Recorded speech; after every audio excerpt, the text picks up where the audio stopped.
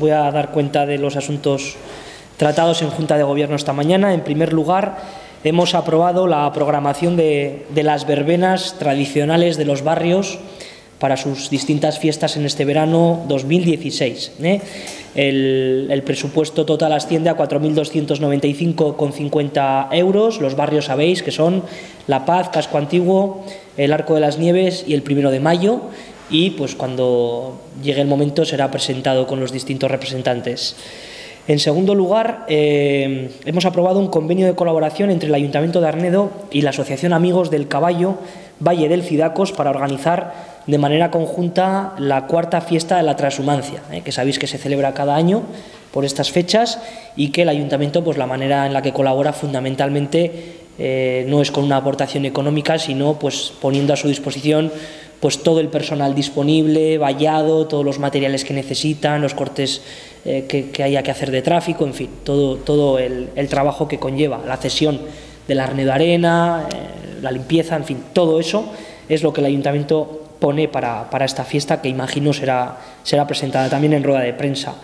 Eh, hemos aprobado también los padrones de la tasa de agua, de alcantarillado y del canon de saneamiento del primer cuatrimestre de 2016 son 8.439 recibos y en cuanto al agua eh, asciende a 219.170 euros, alcantarillado 67.405 y el canon de saneamiento a 99.100.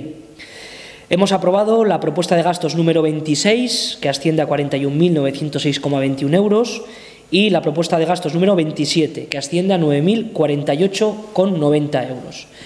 Hemos aprobado también la certificación ordinaria número 2 de las obras del atrio del Templo de San Cosme y San Damián y la calle de los Santos, que asciende esta segunda certificación a 62.800,02 euros.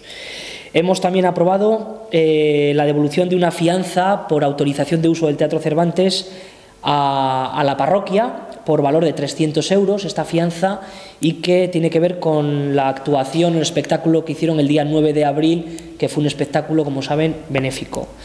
Y por último, hemos eh, aprobado también el proceso de, contratación para la prestación de servicios múltiples en el Teatro Cervantes, pues todo lo que es, como sabéis, las labores de, acomodación, de, todo, el trabajo que, que en estos momentos realiza eh, la empresa Barpal, pues se ha abierto el proceso como se hace cada, cada, cuatro años, asciende a 30.578,51 masiva y es un procedimiento abierto. ¿eh? Por lo tanto, pues eh, se abre este, este procedimiento.